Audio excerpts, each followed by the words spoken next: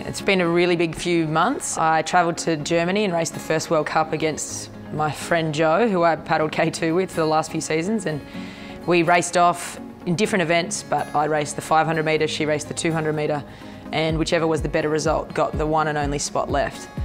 So Joe raced on the Friday and the Saturday, and I knew that she'd made the C final for Saturday, which placed her, the best she could place would be 21st. It was very stressful. Um, the fields in both the 500 metre and the 200 were hot.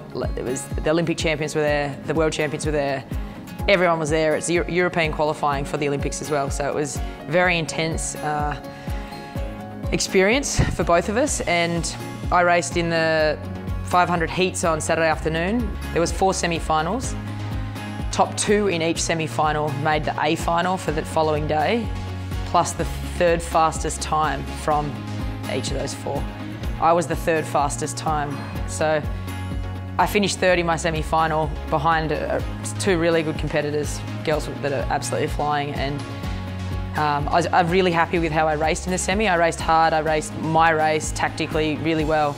I started quite well, finished strong, you know, ticked all the boxes for me personally as an athlete. And uh, I was in the first semi-final. I finished third. Okay, so I'm the fastest third to start with.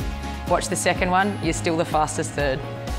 Watch the third semi-final come through, yep, you're still fastest third. And I was like, oh my God, I'm, yeah, one more semi to go. Ended up being just getting this girl by, you know, 0.5, yeah, half a second at most. And uh, you're in the A final for Sunday and I was to make the B final would have been a great effort, but to make the A final top nine at a world class event as the first World Cup of the season where everyone's at, it was, um, yeah, it was, it was awesome. The relief that I felt once I'd raced my semi-final and yes, you have got the third fastest time. So yes, you're, you're into the A final, you're the slowest qualifier into the A final, but yeah, you're in the A final and off the back of that, then Australian Canoeing nominate me through the Australian Olympic Committee and knowing that I'd secured the spot but it wasn't handed to me yet, I still had to race on Sunday and finish and, and be awarded the place. So yeah, a roller coaster of emotions. Um, I was physically and mentally cooked. I had nothing left. By the time I raced in the final on Sunday morning, it was like I was in third gear. I just couldn't actually do anything. I was paddling at maybe 80% watching the race unfold in front of me. Everyone that raced in Duisburg, that first World Cup, everyone in that A final will be in Rio racing K1. So it gives me good confidence that I am in the mix. For me to be in that sort of field is, is really exciting. It's pretty inspiring and um, definitely trying to take that next step and I'll be travelling to Spain to train with uh, Lisa Carrington, the current Olympic champion, uh, from Slovenia and Martina from Slovakia who were all A finalists. Four of us trained here on the Gold Coast earlier this year together and I think we got great benefits from that. Yeah, I received this Spanline card I did via email. Thank you everybody, it was really nice.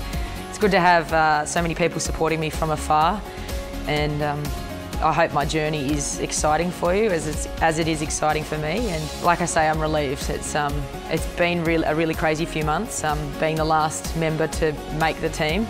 It's, um, it was really hard watching everyone else be accepted into the team and they go and do all the events and, and I'm still working way towards the first World Cup to get the spot. So, you know, enjoying those kind of things and I think that's made me a better athlete for it and um, focusing in on myself and made me, yeah, just sort of take it to the next level hopefully. I'm really happy where I'm at at the moment. My training's going really well. I feel injury free uh, and I'm really excited about getting out of the cold weather and getting into some warm training environments over in Europe.